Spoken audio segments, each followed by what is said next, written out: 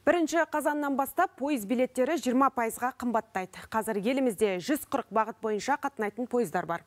Келесі айда соның 62-сінің тарифі өседі. Мәселен, стандарт вагондардың құны 6300 теңгеден 7500 теңгеге көтеріледі. Ал э, Тальго пойызына жолаушы билеттері 10 мың теңгеден 12 мың теңгеге қымбаттайды. Үкімет тарифті өсіру арқылы теміржол паркін жаңартуды көздеп отыр. Себебі 2600-ден астам вагонның 44 пайызы әбден تسخن